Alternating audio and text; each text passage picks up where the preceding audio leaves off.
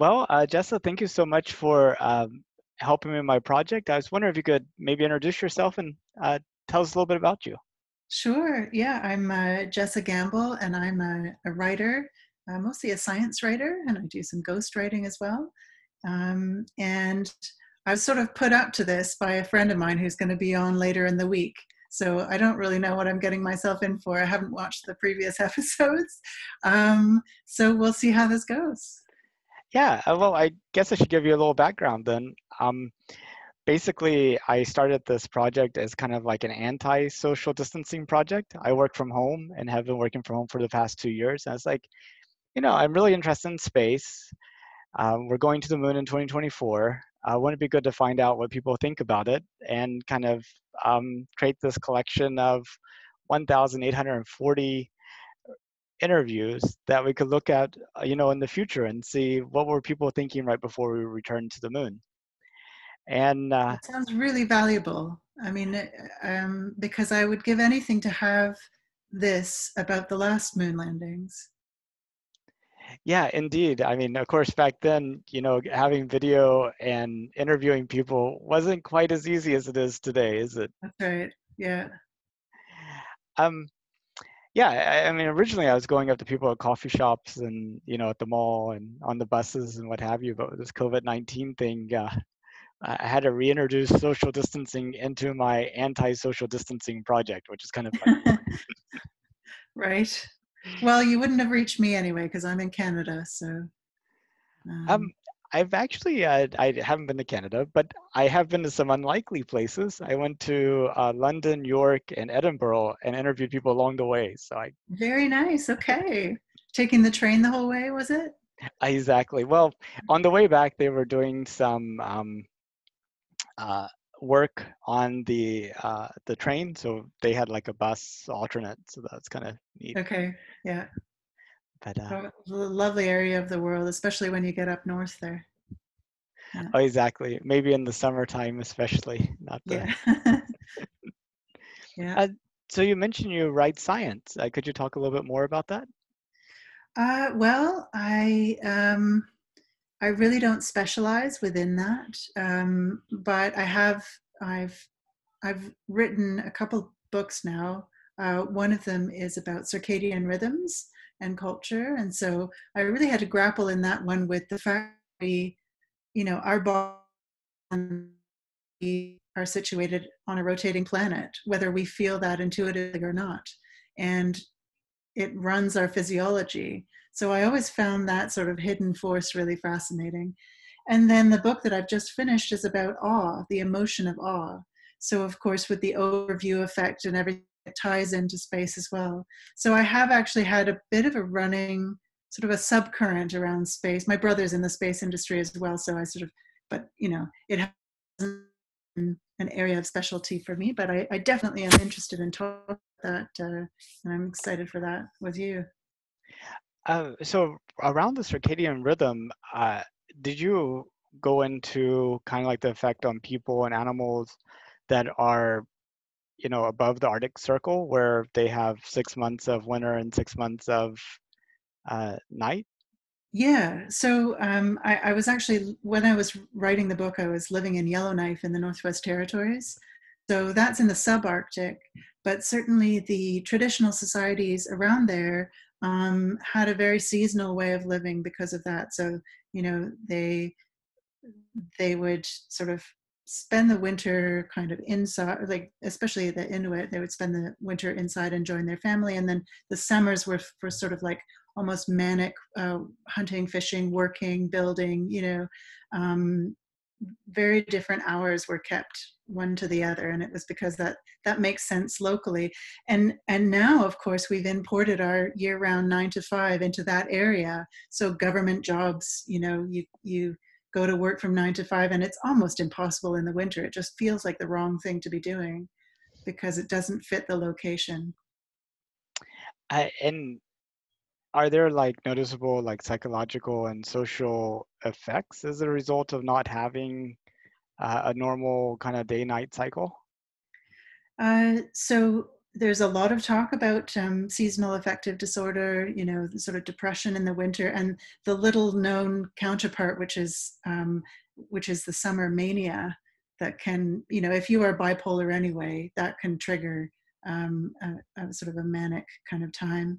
Um, I'm not so sure that in the modern world with artificial lighting, it's quite as much of an impact. If you if you live in England, let's say, you're probably going to work in the dark and coming home in the dark anyway. Uh, so I, it's not all that different. Yeah. Um, I lived in New Hampshire for one year. Um, I live in Texas every other year besides that, including this one. Mm-hmm. But uh, that one year I lived in New Hampshire, I couldn't help but notice that whenever spring came, there was a bit of mania even without, uh, you know, uh, the end of total darkness, you know. Yeah, yeah. There's always that one day where everyone smiles at each other on the street, and you both know why. You know, it's just because it's the first warm day. Exactly. People yeah. getting outside and sunbathing, and they're just exactly. like, "Oh my gosh!" Uh, in the book on awe, um, our ability to experience awe. Uh, did you find that there were people that were particularly susceptible to experiencing awe, and other people who yes. were completely immune to it? Yes, that's exactly what we find. So it's highly correlated with um, the the trait of openness to experience, which is one of the big five character traits. So you've got so for the big five, you've got extroversion versus introversion. You've got conscientiousness. You've got um, oh, what's it called? Neuroticism, um, and, and then you have openness to experience.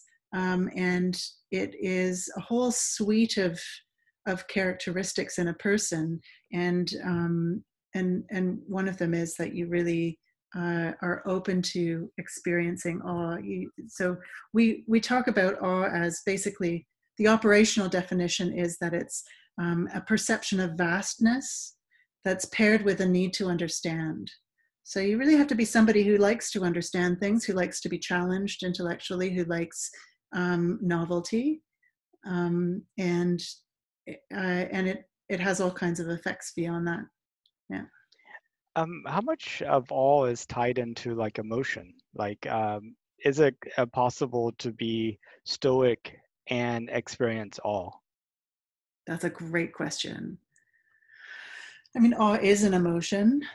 It's an emotion that has various flavors. Now, Stoicism is that so i'm trying to remember the kind of the philosophy behind that is that you sort of you kind of don't let things faze you. Is it is it's almost like a form of um uh what do you call it when you're like mindfulness right? Where you you observe that things are happening but you don't actually it's like a non-reactivity thing is that right? Do i have stoicism right that's the way I understand it. Is like, um, you know, it's like that pilot where the plane is like falling apart, and they're talking to air traffic control. It appears that the plane is falling apart. you know, as opposed to ah! I am soon to die. Um, so I like I haven't seen any science on that, but I would imagine that the more removed you are from emotional reactivity, the the less connected you would be with that awe, which is strange because mindfulness is so, tied to meditation and things that are, you know, philosophies that otherwise I would think would embrace awe. So that would be an interesting kind of paradox to pursue and really get into. Yeah, because I think it's relevant to historical space travel as well, because we select our astronauts based upon being able to stay calm under pressure to um, regardless of what goes wrong to be focused on solving that problem and, and what have you. And at the same token we're putting them in the most amazing environment but maybe we're sending people that are immune to really truly having a motive reaction to that environment oh, that's a great point because sometimes you know you wonder I mean, some astronauts clearly have been deeply affected, and others may actually feel that they are required to say that they were deeply affected. Um, and you look at the video, like um, that film that they did about Apollo 11, I guess, right? That was the first moon landing. Mm-hmm. Um, so when they were landing and everything was kind of like the fuel was getting low, and you see their heart rate is like 90 something beats per minute. It's like, how is that possible? Yeah, indeed. Uh, yeah. And, uh, you know, also, um, you know, we talk about going to space in order to kind of explore and to discover new things. And there's curiosity that's involved in that. And, you know, if if you're so focused on like achieving your mission objectives that you don't have like the freedom or the inclination to be curious about what's around and maybe go off script and explore things, then uh, you know maybe we're not getting the best value out of our our efforts there too. Yeah, I certainly. I mean, this morning I was sort of thinking about, okay, well, what do I think about us going back to the moon and so on, and it. I think what I what I landed on was what you're saying is that we we sort of we should really pay attention to developing the reasons sort of in parallel with doing it. We should really develop a, a robust structure for explaining it to ourselves. Do you see what i mean? Absolutely. Yeah and i think that perhaps was what fell down the first time. Like we should we should figure out exactly why we had this false dawn and it's as if we never went to the moon for all practical purposes. So we need to make like why is it different this time? Why are we more driven this time? Why do we have an innate reason to be there as opposed to sort of competition? Um, and what worries me so we just watched the spacex mission uh, going up and succeeding. And, you know, with the launch was quite nerve wracking, especially since, you know, SpaceX didn't always have the most meticulous quality control in the in the past in the distant past let's say and so you know i'm thinking oh you know like it's it was stressful to watch but then it was really exhilarating to see that they succeeded but then i see like the White House, a certain White House official being interviewed about it, and he says, This is the beginning of Space Force. And I shut down my computer because that kills it for me completely. Right? Because I, to me, the, the most inspiring use of space is peaceful. And so I, I'm a little worried that this time around the reasons will be there and there'll be something I don't like it's like uh, that phrase for all mankind right? Or right. for all humankind it's is really what we should update it to. But i mean essentially i mean that was the spirit at which we we landed. You know it was like uh, what one small step for a man one giant leap for mankind you know that type of exactly. Yeah. And you know what the kind of like the irony of it is? Is that the first time that we went, it was truly an American enterprise, like soup to nuts. Right. But this time, they are uh, literally making an international enterprise. So it's yeah. like, and it's like in the actual doing of it, it was purely nationalistic, but the words were all, you know, kind of like brother and sisterhood and, and everything. This time we're actually, the mechanics of it are international, but the words are all wrong. Right. Yeah. I was thinking back to so there was one event in space history that really continues to inspire me with its audacity, which is the Mir Corp um, having having leased the Mir in its final days, and just and and just you know private American citizens just deciding to go up and fly the Jolly Roger flag and be privateers and you know hire the first commercial uh, cosmonauts.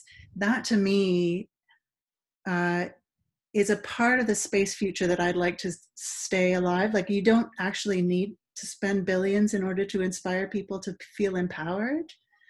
Um, and I'd, I'd love to see that sort of the smaller side of it continue.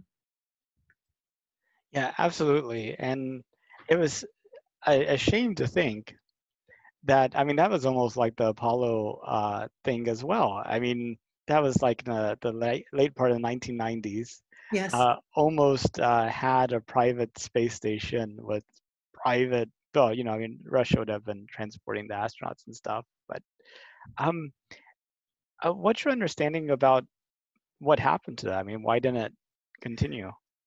So most of most of my understanding of that, I mean, I've talked to Rick Tumlinson a, a, a little bit about it, but most of my understanding comes from uh, the documentary called Orphans of Apollo. So I'll just parrot that back to you, which basically they sort of blamed it on the pressure from the United States to get Russia to really invest in the ISS. And because Mir was you know, taking more and more money to maintain as it aged, they just wanted it decommissioned. They wanted um, they wanted the focus to be on the ISS, and so you know the that combined with the fact that you know the State Department sees everything that's put into space as basically a, a weapon. You know they treat it like that in terms of like uh, licensing. Um, I think that seems to have killed it, and yet would space would SpaceX be possible without that having happened? I don't know. What, what's your take on that? Since you have much more background than I do. Yeah, and unfortunately, uh, I I've heard the same things you just said uh, from the same sources. So okay. I, I, hate to uh, pretend to lend credibility where it, it's just uh, right. just kind yeah. of uh, uh, kind of repeating this thing. But I mean, I would say my understanding also about uh, Dennis Tito going up there. I understand he was a big part of Mir Corp as well. Um, he was the first like private space tourist that went up on the Soyuz. My understanding is NASA really objected to that as well, and were like, the Russians were like, we could do anything with our part of the space station, and and the Americans were like, well, he can't come in our part, you know, that type of thing, right? Okay. And then I understand there was an astronaut that got married while he was in space. Really? Yeah. Cool. And uh, it was like through a virtual conference. Uh, uh, and, you know, uh, NASA was really not supportive of those efforts too. And it just seems like um, NASA has really made a, a big shift in terms of being more supportive of the private sector. I mean, it really felt more kind of state driven as opposed to private sector driven. Yes, but there's no question about who's in charge in those relationships, right? Like I, you know, if for example, if uh, if somebody gets married on the Mir, precisely why is that NASA's business to begin with? Right? Well, they were on the International Space Station, and it was yeah. a NASA. Oh, I see. Oh, it was sorry, a NASA astronaut. yeah, it was a NASA okay. astronaut. Yeah, so. Yeah. So is it because that they would rather everything be very serious sciency kind of they don't want it to be cheapened or commercialized? Uh, i'm not sure what the motivation was then but i, I could tell you you know last year uh, there was an act that was passed or a policy that came out from nasa that really opened up commercialization. I mean you could rent you, you could send your private astronauts to the international space station pay so much per day okay. uh, you could rent space um, yeah. Uh, you know that uh, so I mean, like even like DoubleTree did like a um, kind of a promotional thing where they had uh, NanoRacks put together a oven uh, to bake cookies on orbit, oh, yeah. like the first in orbit being. So we're well past that. I mean, if it was happening today, it would be a big deal. So I mean, right. NASA has really yeah. grown yeah. a lot, and you know, SpaceX and Blue Origin and and Virgin Galactic, I'm sure, have really been working to kind of promote that capability. Yeah. So the premise of this uh, of this landing would be that it's a stepping stone to Mars. Is that right? Well, like anything the government does, there's uh, lots of competing interests and viewpoints and, and what have you. So the official administration viewpoint uh, is that we are going back to the moon um, to develop the resources on the moon and to um, use as a test bed for going to, to Mars. But they not limiting the moon activities to just the bare necessities needed to go to Mars, that the moon is worth developing in its own right and ex- exploring and what have you. Then there are definitely those uh, representatives in the House who are like, you know, they just really want to be the first ones to go to Mars. And they're like, everything should be directed towards that. And whatever we do on the moon needs to be the bare minimum. Uh, and, you know, the moment we feel safe enough to go to Mars, we should go there. Okay. And, um, you know, and there's just uh, a wide variety of, of thoughts on it. But you, you talked about um, needing to come up with the, like, develop the reasons for uh, going to the moon. And I, I was wondering, um, what what reasons would you see as being worth it? Like, kind of, what would motivate? Well, I guess I just I just don't know who like the Gerry O'Neill of our time is, right? Who's actually articulating a future in which our sort of existence in space is important. Um, because people sort of toss around, oh, because climate change or whatever, but it doesn't hold up to any degree of scrutiny. And so um, I just would like to see. I think perhaps it's because science fiction is is not particularly thriving at the moment because the present is so bizarre to begin with, and so um, I, and I think uh, Bruce Sterling sort of said that there's a it's kind of the end of science fiction at the moment. Um, so I don't know, but I, we still need our imaginations to carry us into uh, other ways of being. And i just i mean maybe i'm looking in the wrong places. I know that there's this whole sort of space frontier movement that's that's very much alive. There's you know there are a lot of space enthusiasts. It's kind of an interesting community.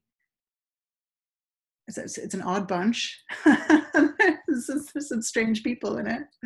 But um yeah i'd like i i just I just think that we need to actually put our attention for a sustained amount of time into what exactly is the benefit of the sort of you know monkeys in a can type approach instead of uh, you know sending more probes or what have you yeah. or in, instead of let's say sending an ai conversation out into space as well like you know we've got these one way broadcasts and we can't uh, we can't have a conversation back and forth because of the the distances but we could send you know uh, if we had a viable conversation bot we could send a simulation of having a conversation with a human which might be quite fun Oh, exactly. Like, uh, what are you seeing now? Lots of red stuff.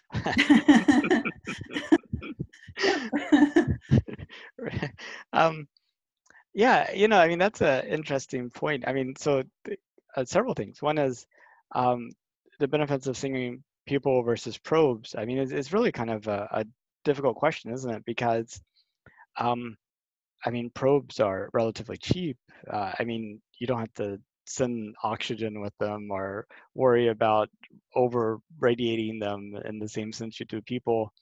Uh, uh, probes can go to sleep for long periods of time until they get there they wake up and everything's fine and you lose probes and sure there's hearings and stuff but you don't have you know national states of mourning that's uh, right you can get much more adventurous because you're not killing anyone if you if you take a leap too far and so, you know, what's the the point of uh, sending a human that might, uh, you know, develop cancer and who is going to have uh, get tired and uh, who has to be uh, protected and and won't actually be able to sense the environment with his senses, right? I mean, That's wasn't right.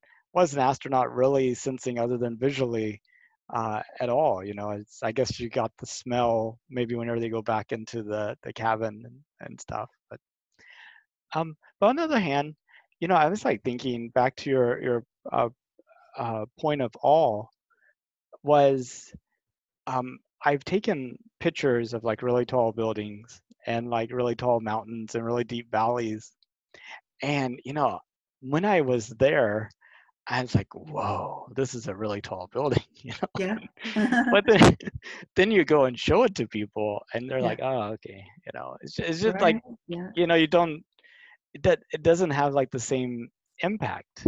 Uh, Mm-hmm. and, and the question is how it's is that valuable enough for everything else? You know, I mean, like so that's an important aspect of it too because you know ever you know when you go to the grand canyon you quite reliably people feel awe um, and then they they may even feel quite changed at the time they may think that this was this is going to kind of change things for them and then they go right back to their daily lives and nothing happens and i think it's because it's not really ritualized in the way that other things are. So for those astronauts that went up and experienced that sort of feeling of connectedness and that uh, those sort of epiphanies about um, uh, about the world's complex and vulnerable ecosystems and and the atmosphere, they came back with quite changed lives because everyone knew that they had done that.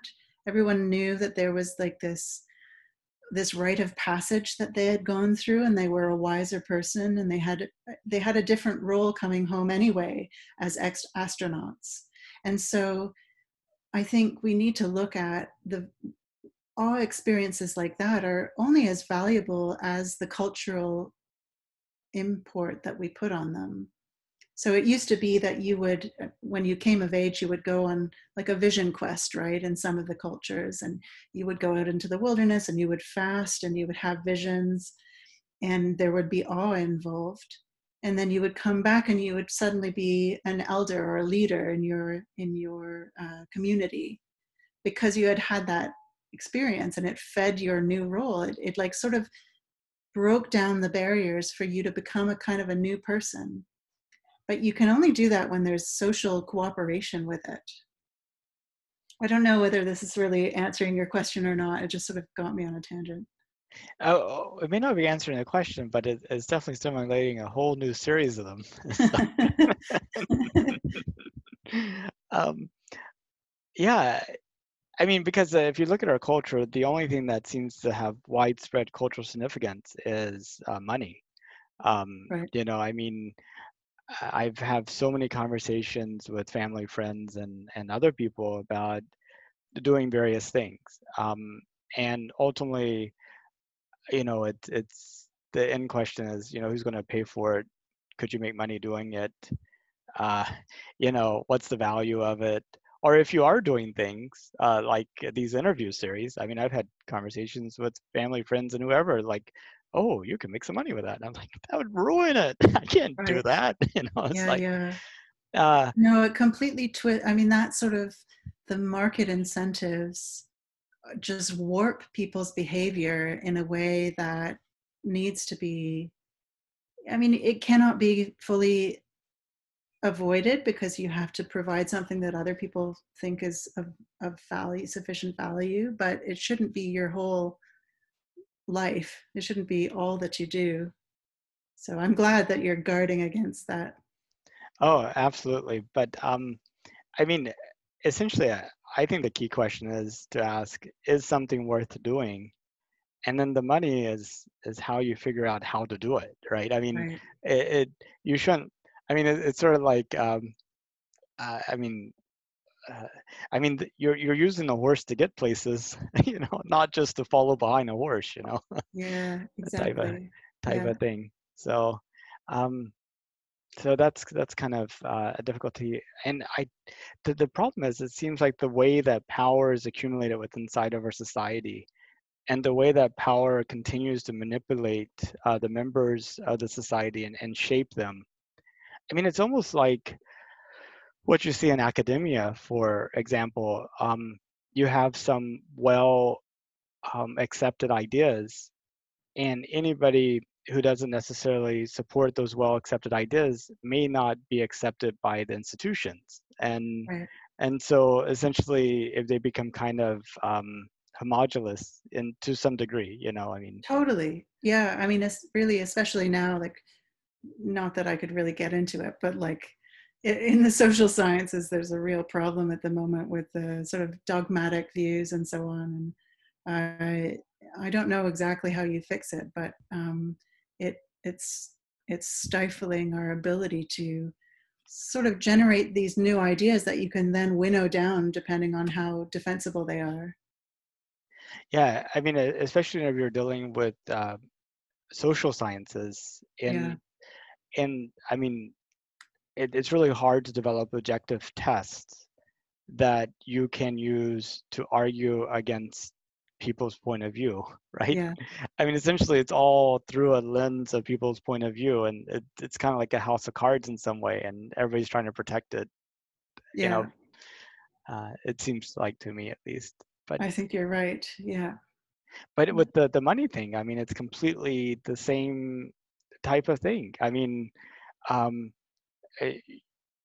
you know what career should you have well the one that you earn the most money with and uh, you know which house should you get well the one that you could resell for the highest value you know i mean it's like all these things it really should have the career that's most fulfilling where you can contribute right. the most and you should have the house that you uh, really enjoy living in not the yeah. one that you know but i think it's true and i think i do see i mean i'm in my 40s now and so i look around at the different paths that my friends took and i think the ones who chose money over fulfillment in their in their careers they they spend a lot of that money on kind of um, palliative stuff you know to make them feel better about the day that they just had at their at the work that doesn't doesn't speak to them. And uh, i don't want to live in that sort of yo-yo sort of um, environment. Um, then again it is nice not to be poor right? So you have to find a sort of a medium state where uh, where you know you've found something that feeds you as well. And then, like you're talking about the corrupting influence of money as well. Uh, how many people have taken a hobby and tried to turn into a job only to hate what they loved? Right. Oh, yeah, that's true. Yeah. So it's, uh, there's no easy answers, are there? no, it's all just all just part of it. I mean, it's so, yeah, it's very, it's complex if you try to take it all in, right? You know, coronavirus, for example, I, I find it difficult to think about in a, in a global context, the, you know, the, all the economic ramifications and all the social changes and the, you know, the changes to education and where is it all going and how do you map it out? And I, the fact is that my brain can't model it. And so you just have to look at the personal, right? You have to look at, okay, you know, my son's wearing a mask to school in September, and that's all I need to know right now, right? Like, um, so yeah. Um, and I, I know this is uh, just like at the top of the hour. Um, do you have uh, some more time, or did you have to go? Sure. Yeah. Do you, um, however you like, you know, the next twenty minutes or so. Sound good? Uh, yeah, that that'd be yeah. perfect. Um, cool. Well, I guess first of all, um, how did you find out that we were going to the moon in 2024, or, or had you just heard about it? So that specific date, I think, I think you are the one that I mean, that's like the first time it really stuck. So I went to a conference, a Humans to Mars conference in Washington, D.C. I want to say five years ago. Yeah, I think 2016 was probably the year. Okay, well done. And then, and so the administrator of NASA was there and he was talking about this stage approach, which is what I had referred to there, where, okay, first we're going to the moon and then we're going to some sort, well, maybe there was a near, no, there's some sort of Lagrangian point out in I don't know. And then, you know, beyond that outpost, the third thing is the moon. And I think he attached some dates to that, but I wouldn't be surprised if those dates had drifted since then. Um, and that was sort of the first time that I really understood that NASA was in the, the Mars game for real, because before that it had been these outliers and um, and also a lot of groups that nobody took very seriously and probably still don't. So it's it's interesting to see the political will building through other people just saying, well, we'll just do it ourselves. And then sort of NASA creeps in that direction uh, slowly, you know, like the juggernaut that it is. Yeah, I, I've heard some uh, biologists or ecologists talk about how life creates the capacity to support more life. Like, uh, I mean, you have like the the bacteria and the fungus come in, and then you have the plants, and then you have like the insects, and then you have like the small mammals and the, the what have you. And, and before long, you have a fully developed ecosystem, right? Right. Yeah. And the same thing's true in these industries as well. Whenever you have sort of like this uh, you know only one tree and there's like nothing else around there's not much of an ecosystem you know Yeah. uh, and but once you get something going with like your spacex and your blue origin i mean how familiar are you with uh, blue origin jeff bezos's company Oh, I know almost nothing about it. I think there was was it was it Blue Origin or was it the Virgin one that had a crash a few years ago? that was uh, virgin galactic yeah with the two Okay. pilots uh, one survived one died Okay, Um, yeah. I remember I was in a coffee shop reading that headline and I gasped like audibly. and everyone around me was like, what is she? Anyway, um, no, I don't know. Just tell me about them. But would you believe they're actually slightly older by a matter of, I think, half a year than SpaceX? Uh, but okay. they've been uh, very, very quiet about uh, what they've been doing. But they have a very unique funding model. Jeff Bezos sells a billion dollars a year of his Amazon stock to pay for the company. So Okay. uh, that kind of Right. opens up, um, uh, you know, options that isn't available to uh, normal companies, I guess. Well, isn't that interesting? Because Amazon is something that we all use, and it's almost as if effectively it's our tax dollars, but from a, it's like our corporate ta- tax dollars at work, right?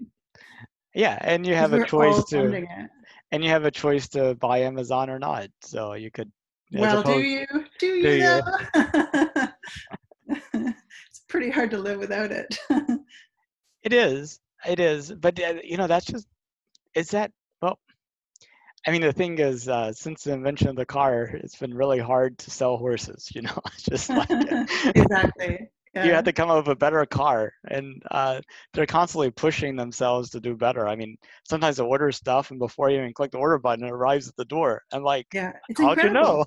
it's incredible like yeah the prime stuff like it just um it's ridiculous because i can't even imagine in my head the series of events that would have added up to that you know 12 hours between when i clicked you know and, and remembering that i'm in canada as well right so anyway yeah it's crazy I know whenever you think about, and you know, they had that video about the whole Amazon drone delivery.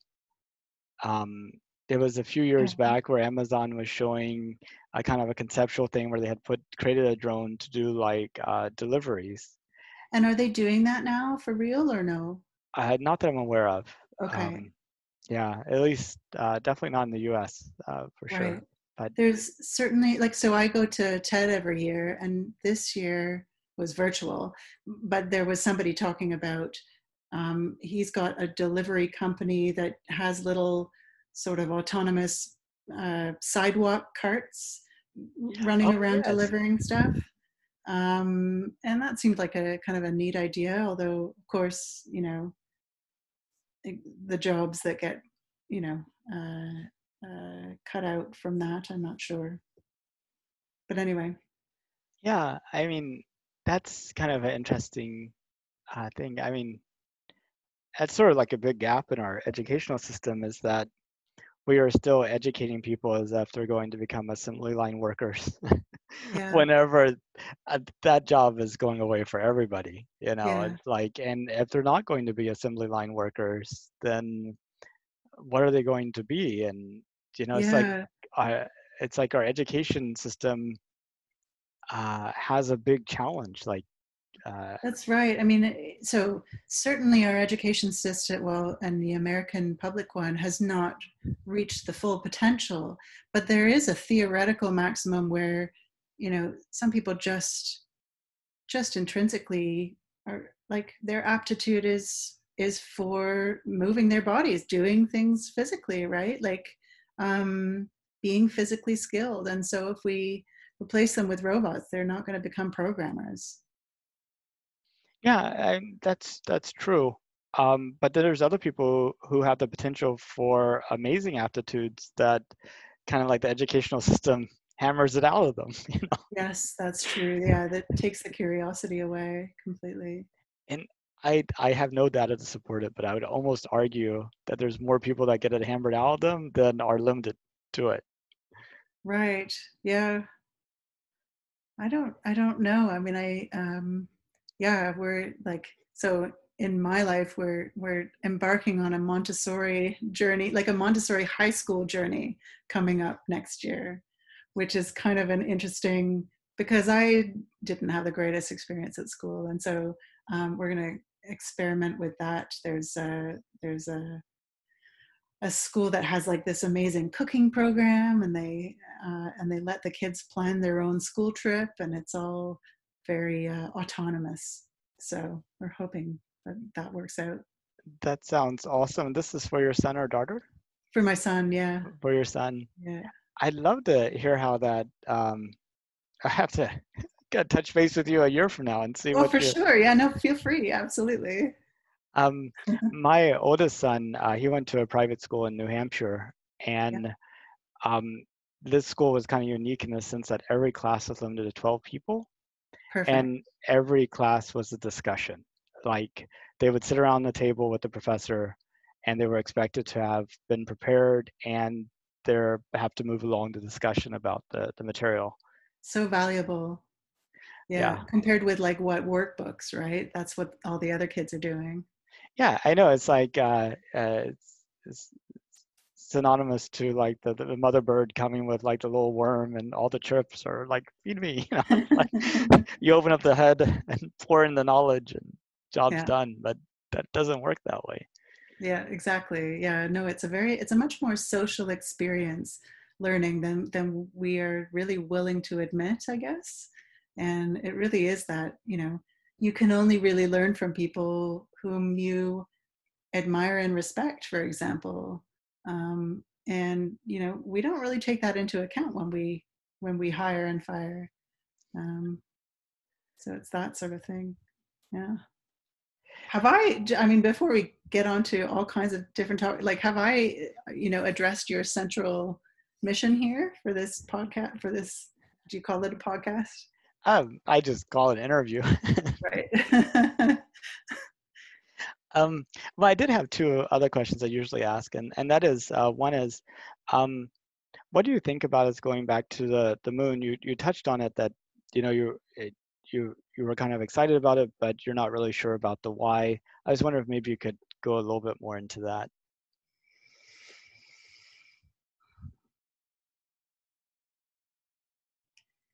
I mean, so you said it yourself about the sort of American nature of things, and and it's you know it's not surprising that it's American led because that was that historically has been and uh, continues to be a, a, center of the the resources.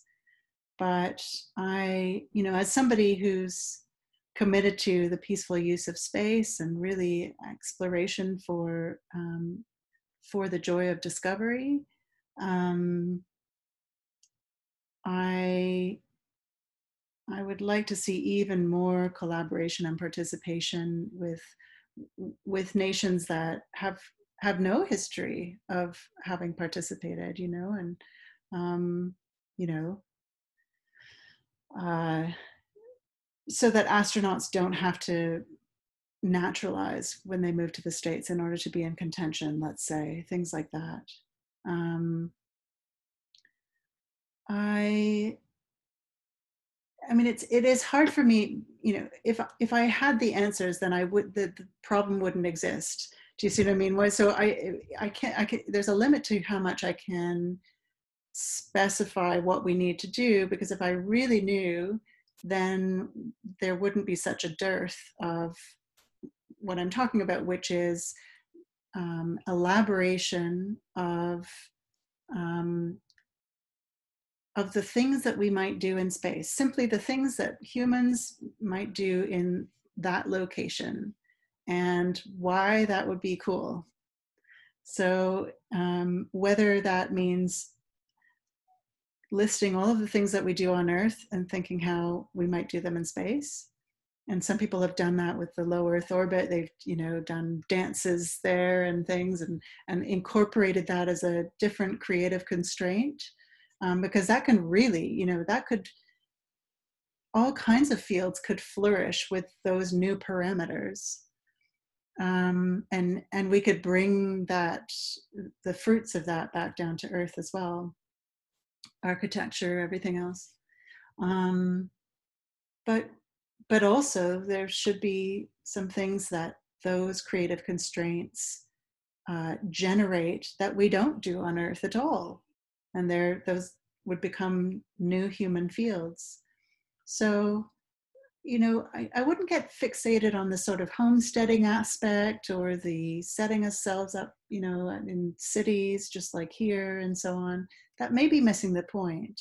It may be about um, really generating things that surprise us um, out of out of the new environment and by definition because it would surprise us i don't know what they would, would be at all I, they would probably come out of left field from just spending time there you know the peaceful use of space uh, it, it definitely seems like we sort of gave away our moral authority there with the formation of space force and it's not too late. Just pack it in, please. Just pack it in. but you know, that was in kind of response to the sense that uh, we almost have no choice, right? Because uh, you have like uh, uh China and uh, Russia and India all testing like anti-satellite weapons and um, what have you, and and we've come to depend so heavily on uh, satellites for um, you know communication and and weather and observation and, and, a whole bunch of other things but I, am just like wondering um, aside from kind of countering force with force I, I wonder you know is there an option where we go okay you could kill our satellites you know but still you know we're not going to we're not going to accept that as an acceptable thing you know and is there like some kind of international pressure or argument that could have been waged instead. Yes, to... it's called diplomacy, and unfortunately, the states has sort of given up on it. But it, I believe in it absolutely. You can talk to people. That's how you solve problems, like like grown adults. You know, you can talk. You can talk to the Taliban. You can call them up on the phone. They answer, right? You can, you know, actually discuss and come to terms with other human beings and uh, you know not walk around with clubs like cavemen um, that's my philosophy and and just because the russians or the chinese are hopping around looking for attention i don't think that's any reason uh, to be building up an arsenal or preparing for war um, I mean, you can probably tell I get quite emotional about this stuff, but I'm just so fed up with it because I don't want it to be our children's world. I think it's such a waste and we've just got to focus on on the positive and and growing a future that is uh, constructive, not destructive. I'm just wondering how much uh, like Star Trek sort of opened the door to creating, uh, you know, the Space Force in the sense that Star Trek, the Federation is always seen as being a very positive thing. It was sure it had weapons and it was military, but you know, it's some. I, I'm just wondering if that kind of like in the back of people's minds thinking, oh yeah, it should be okay. You know, I mean, that's interesting because it's. I suppose that was built on the sort of the nautical model of, you know, exploration by so yeah militarization of the seas right and was was something that was sort of linked with um, exploration and so how do you organize a large group of people with me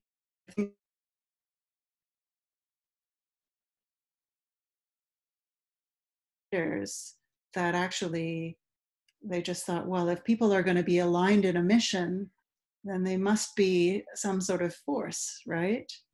Um, and actually you can be aligned in a mission um, simply through sharing values and through shared identity.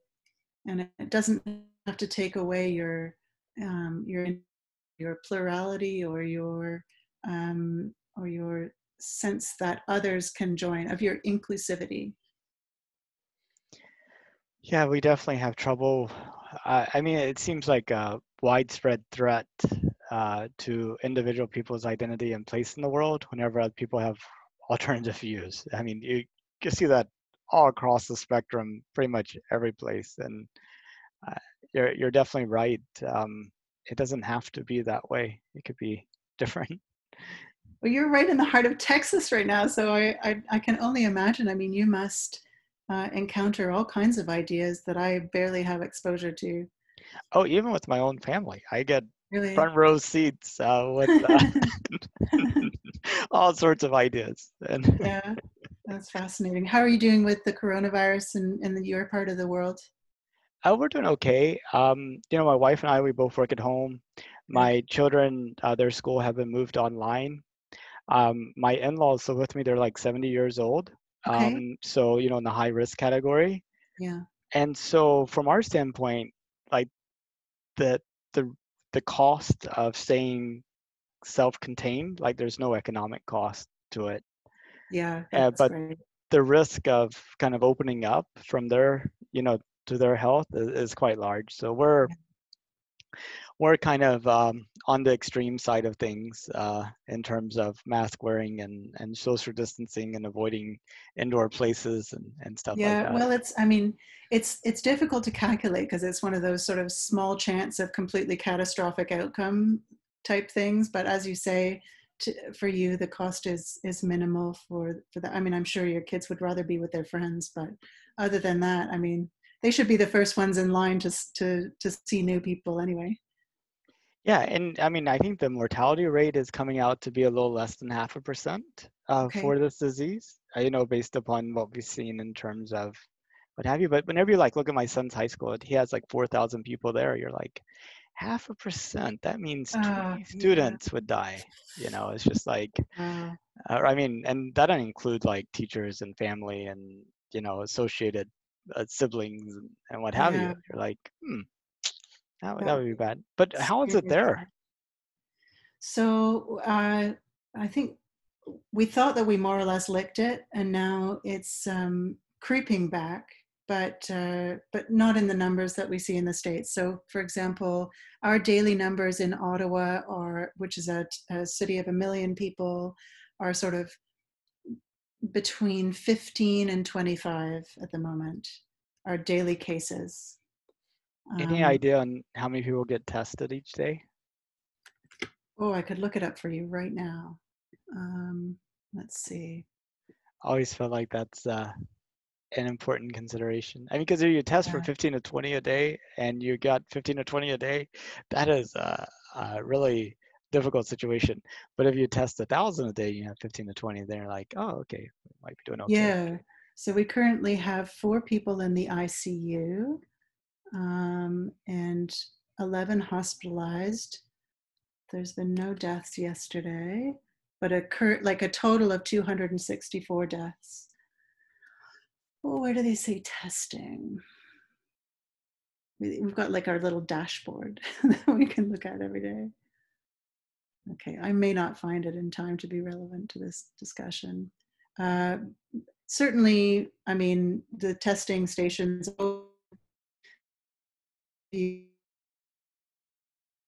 Actually, the result times are one of the most crucial things because people seem to not actually isolate until or not be able to isolate until they know one way or another. And so the benefit of the testing is reduced. Right. Yeah. Yeah. Absolutely. Um. Well, the the last question I usually ask people is, if it was uh, safe and affordable, would you have an interest in going to space yourself? Um, so this the safe part, I suppose, is important. The affordable part is important. Um, for me, they would have to also solve um, travel sickness, like motion because it sounds pretty miserable. In that, like, I don't really want to be barfing the whole time. Uh, I think there's going to be physical discomfort because it's just not, it's the frontier, right? It's not like no frontier is ever physically comfortable. Um, but if there was something for me to do there, it's the same thing with traveling. I'm not really a tourist, but I love to like actually uh, transplant myself into a new place if I have a role to play in that community. So if I if I were to follow the work into space, if I were to have something that people were relying on me to accomplish in space, certainly I would absolutely. Okay, but not like uh, a vacation type of thing, like uh, a week in orbit or two weeks. I, it doesn't back. sound all that restful to me, so no, no. You're like, and how about you? Would you go? I think I would. I think I would go to orbit uh, to the moon. I don't think I would go to Mars um, because that would just be too long. I keep telling people I want to retire on the moon. You know, have like a little oh, house, yeah. continuous picture of the uh, the Earth and what have you. But it'd have to be a pretty pretty nice setup. You know. Right. Yeah. But never know. Yeah, indeed. All kinds of things could happen. I mean, if you think back to ten years ago, how how much your life has expanded in terms of your world, your viewpoints, and so on. I mean, you just have to extrapolate to know that you could well be reporting to me from the moon in 20 years, right? Oh, exactly. There, there would be a little, uh, you know, a couple of second delay with our. Sure. Yeah. but I think we can manage. yeah, unless they've, you know, uh, unless they've sorted out that whole light speed thing in between. Yeah. Exactly. Well, I know we're right at uh, time. Uh, is there anything you wanted to talk about that we didn't get a chance to cover? I don't think so. This has been a lovely surprise. I had no idea what to expect. So thank you so much. Well, I really appreciate you um, uh, helping me with my project. And if you know anybody else, I got over 1600 more days to go. So wow. Okay. Well, my friend Brianna will be on in a couple days, and uh, Brianna Brownell Okay. Um, and she's my creative partner. We're making a show right now about artificial intelligence. She'll be she'll be incredible. So. Um, uh, I can't wait to see it. I'm sure she can send you the sizzle reel that we just put together. Okay, well, I'll let you go then. Okay, take care. Thank you. Take care. Bye bye. Bye bye.